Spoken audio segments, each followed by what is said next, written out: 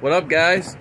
It's your boy Zach, and uh, we uh, just adopted a new dog. His name is Saul. He's a year old. He's a rat terrier and pit bull mix, and he's awesome. Huh, Saul?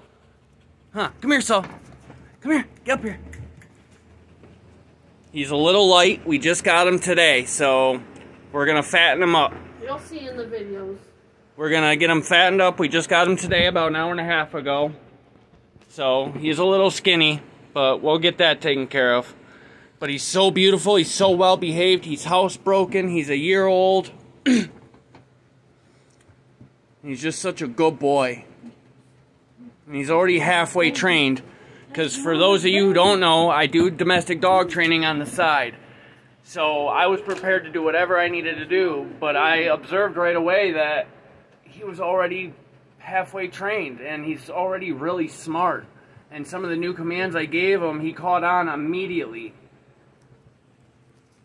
He's beautiful, guys.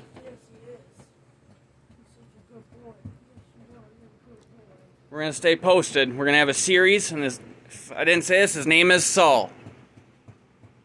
Just like the show, Better Call Saul. Newest member of our family.